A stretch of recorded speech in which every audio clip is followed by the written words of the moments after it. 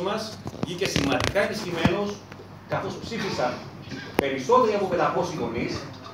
και κυδεμόνε και είχαμε πάνω από 200 νέες γραφέ και 70 νέους ψηφιστάτε. Γεγονός που δίνει το αυξημένο κύρος του συλλόγου μας, την αγωνιστική του συνέπεια που δεν τα κουκλώνει, δεν μπαταρεύει και δεν εφησυχάζει τα, τα μέλη του όπως οι συμβιβασμένες ηγεσίες της ΣΑΜΕΑ, της ΠΟΣΚΑΜΕΑ, αλλά δείχνει τον δρόμο του αγώνα και της διεκδίκησης. Συνάδελφοι, για εμά τους γονείς είναι σημαντικό να είμαστε σε αγωνιστική επαγρύπνηση.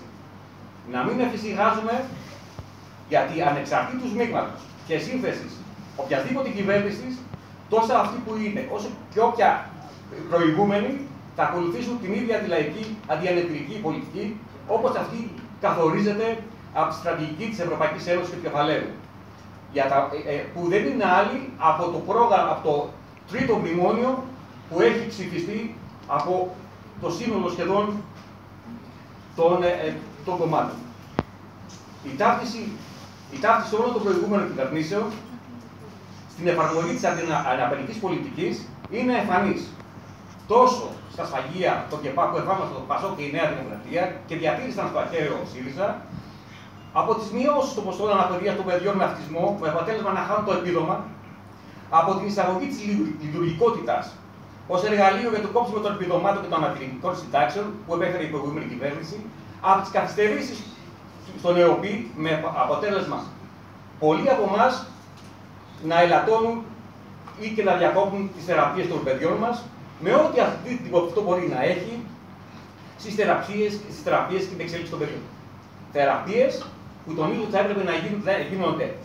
ε, μέσα στο σχολείο και να είναι αποκλειστικά δωρεάν. Όλα τα παραπάνω, σε συνδυασμό με τη μείωση των δαπανών που έχουν ψηφιστεί για την ειδική αγωγή, αποδεικνύουν ότι τα παιδιά μας αντιμετωπίζονται ως κόστος. Αφού καταγούν και υποβαθμίζουν τα δημόσια ε, ε, ειδικά σχολεία και ιδρύματα, εφόσον έχουν απαξιώσει τις κρατικές δομές της ειδικής αγωγή, τα δημόσια σχολεία που λειτουργούν είναι ελάχιστα, κάτι που συμβαίνει αντίστοιχα και με τα τμήματα ένταξης. Παράλληλα, κατήρξαν το ΚΕΔί με τον νόμο 45-47, που παράλληλε σαν επάρκειες σε λήψει και την υποστελέχωση και τις καθυστερήσεις, διασφάλιζαν στο μέτρο του δυνατού το επιστημονικό προαπαιτούμενο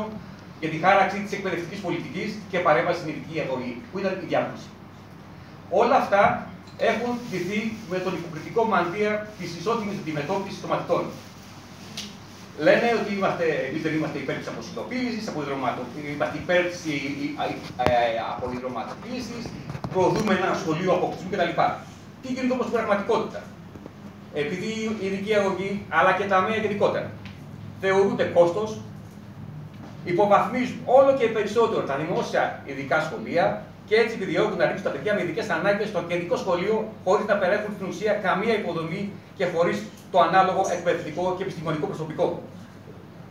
Για μας, συνάδελφοι, δεν είναι τυχαίο ότι η κυβέρνηση της Δημοκρατίας δεν έχει προβεί σε καμία επί τη ουσία δήλωση για τα καυτά προβλήματα στο τομέα της πρόνοιας και των ΑΜΕΑ. Κάνοντας ταυτόχρονα γαργάρα ότι η έκθεση αξιολόγησης είναι σαφής ότι όλα αυτά που εκκρεμούν πρέπει να υλοποιηθούν μέχρι το Δεκέμβριο του 2019. Συνάδελφοι, σε λίγες μέρες ανοίγουν τα σχολεία. Με τα, με τα προβλήματα, με τα προβλήματα χρόνο με τον χρόνο να διωγγώνονται, με τις ελλείψεις να είναι δεδομένες οι υποδομές, καθώς και εκπαιδευτικό και βοηθητικό προσεγγιστικό, με την κυβέρνηση να έχει εξαγγείλει 4.500 μόνιμο προσωπικό, οι οποίες φυσικά αποτελούν σταγόνα στον ωκεανό, χωρίς να έχει ξεκαθαριστεί ούτε πόσος θα είναι ο αριθμός των αναπληρωτών, ε, ούτε πότε θα ολοκληρωθεί η διαδικασία πρόσληψης και χωρίς να γίνει σαφές αν αυτοί οι 4.500 έχουν αφαιρεθεί από τον περσινό αριθμό των αναπληρωτών που προσλήφθηκαν πέρσι. Εμείς, ο ενιαίος Σύλλογος Γονέων και Κηδεμόνων, το ταξικό αναπληρωτικό κίνημα, σε συνεργασία με τους εκπαιδευτικούς, πρέπει να προβάλλουμε το τι ειδικό σχολείο θέλουμε, τι ειδική αγωγή και εκπαίδευση συνολικά θέλουμε, δίνοντας βάση στο περιεχόμενο καθώς και στην πρώιμη διάγνωση, στην έγκαιρη παρέμβαση, την ολοκληρωμένη σύγχρονη και δωρεάν θεραπεία, αλλά και την προοπτική κυρίως ένταξη του παιδιού στην κοινωνία και στην παραγωγή.